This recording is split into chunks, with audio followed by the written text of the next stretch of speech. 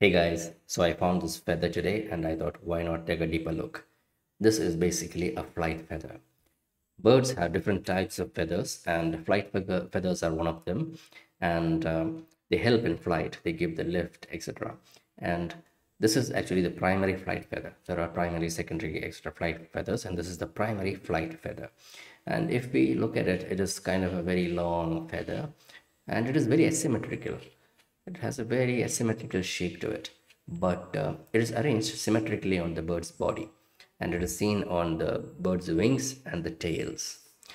So when we look, take a deeper look, this uh, has, this is basically the rachis and uh, each of that is branching and these are the barbs and the barbs are, again have the distal barbule and the proximal bar, barbule the distal barbule has hooklets and the proximal barbule has spaces for the hooklets to attach to.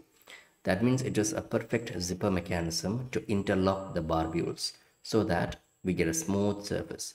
If we look here, there is a gap. That is because the barbules are not interlocked. The proximal and distal barbule are not interlocked. So it is a gap is there. A bird does not want a gap. For a proper flight, this gap should not be there. So this zipper mechanism is what keeps it together. This is um, a, a, microscopic image of the same feather that we saw in the first image and it is uh, the distal barbule and uh, we can see the hooklets. Again, just to recap, the distal barbule has hooklets and the proximal one has the space for the hooklets to hold on to. This is basically taken under the microscope and I just put the feather under the microscope and try to pull them apart, pull the barbules apart to make that split. But um, if you pull only mildly, with only with a mild force, it doesn't separate. Of course, uh, if we pull with a great force, it will separate out. But if we just give a mild force, it'll have an elastic kind of a feel with where this separate out and comes back.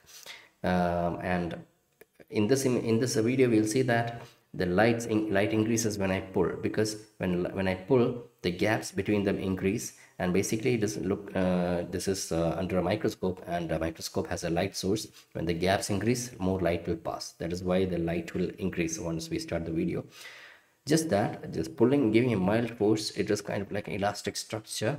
Because of this uh, interlocking it'll uh, go away and come back. But if we give a greater force it will separate out definitely. See that light is increasing when the separator out. Separator out release force it will come back. Give force it will go separate out a little. Leave the force and it will come back. Very very kind of like very much in elastic kind of a feel.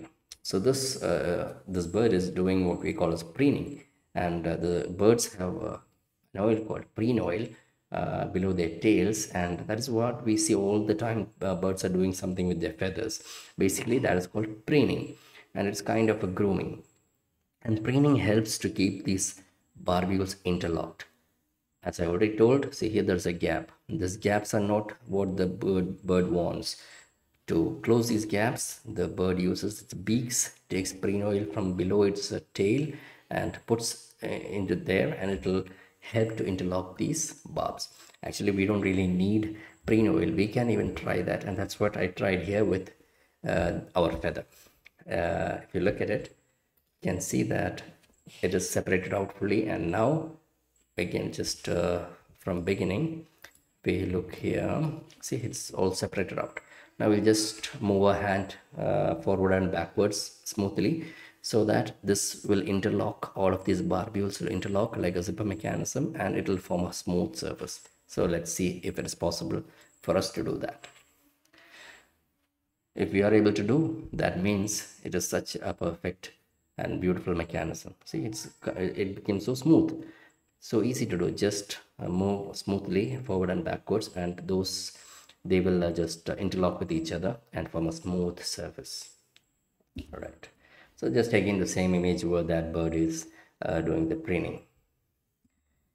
So this is what our feather was. Here we can see it is very smooth.